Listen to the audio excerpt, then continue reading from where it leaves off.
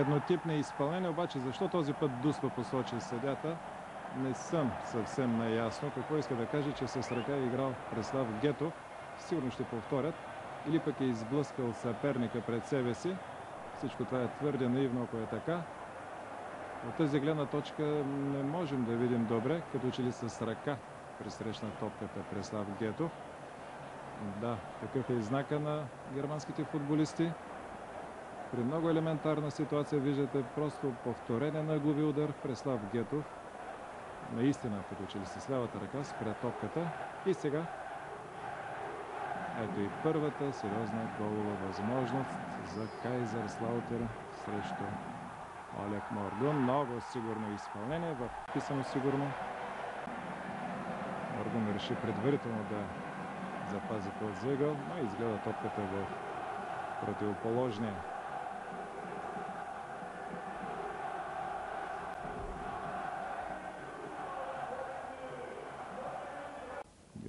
Василев. Дали бърза да завърши полувремето или му се струва, че много бързо изтече времето. Ето чудесна възможност за гол, пропусната от нашите футболисти. Ще видим на повторението. Там беше се е втурнал в много добра позиция. Излезе Преслав Гетов или Гайдарски.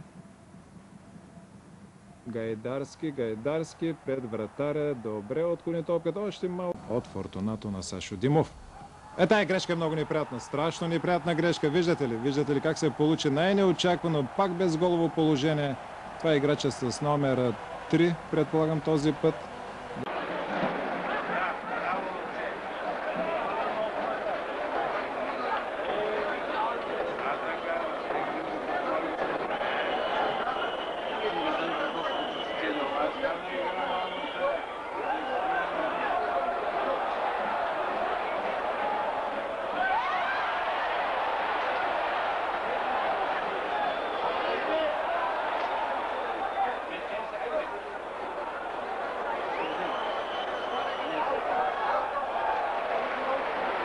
Слаутер. Етър Велико Търново 2 на 0 за домакините, но пак ще кажа, всичко ще се реши в Велико Търново.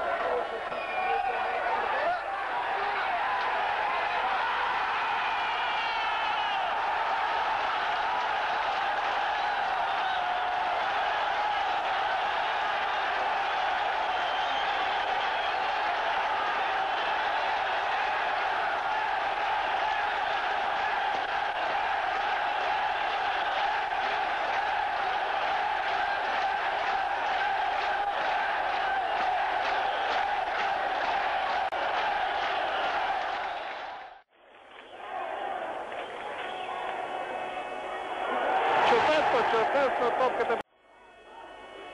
Сашо Димов може да измисли нещо късо коварен пас. Само, че в центъра някъде добре, добре. Цветанов под левия фланг. Суфлов не достигна топката. После Трифон Иванов закъсня и срещу шампиона на Германия. Може би най-безличният шампион през последните десетина години на световния шампион. Георгиев. Чудесен удар, великолепен удар на Червенков. А, това беше големия ни шанс. Топката според мен рикошира в главата на играча с номер 12, който влезе през втората част. Феген. Ето сега ще видим повторението. Спотик стреля. Да,